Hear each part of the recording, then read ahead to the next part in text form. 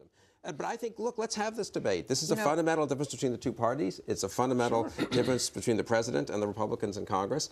And I think a long and serious debate about health care, including a debate on the Republican proposals that will come forward in the next few months, will be good. And you know what? If, if, if the business community and the insurance industry finds out that Republicans merely want to regulate them without giving them the 30 million new customers that was part of the what? grand bargain mm. of Obamacare, they're not going to have many If allies Republicans are opposed to the insurance industry and to parts of big business, that's fine with me. Republicans can speak for the public and let Obama and the big business guys whom he tried to buy off, let them defend Ob- Obamacare.